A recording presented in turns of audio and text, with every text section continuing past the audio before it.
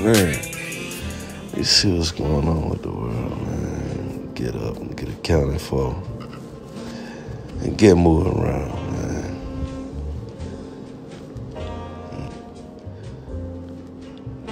hmm What's on the agenda today? Cowboys play. Thanksgiving. We gonna eat good. We getting paid. Let's do it, man. But first, let me holler at the gambling guys. Hey, it's me again. Yeah, I know. Every day, same thing. But you know I gotta pay my dues. It wouldn't be me and it wouldn't be right if I ain't come here and holler at y'all and ask y'all to see this blessing for me. I know I said last time I need you to do this for me this one time and the time before that and the time before that. But I really need you.